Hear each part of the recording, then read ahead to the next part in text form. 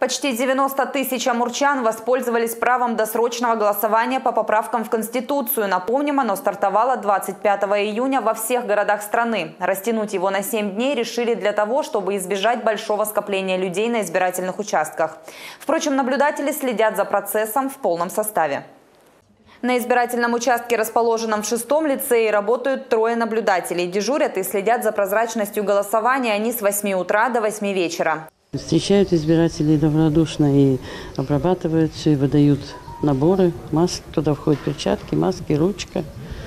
Вот, и избиратели, ну, как бы спокойно и вообще на этом участке хорошо и спокойно. Вот с 25 числа мы дежурим, вот первые дни было очень мало народу.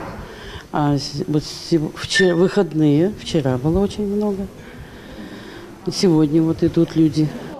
Прийти на свой избирательный участок и выразить свое мнение по поводу новых поправок в основной закон страны можно будет вплоть до 1 июля. Завершится голосование в 8 часов вечера, после чего члены избирательных комиссий приступят к подсчету голосов.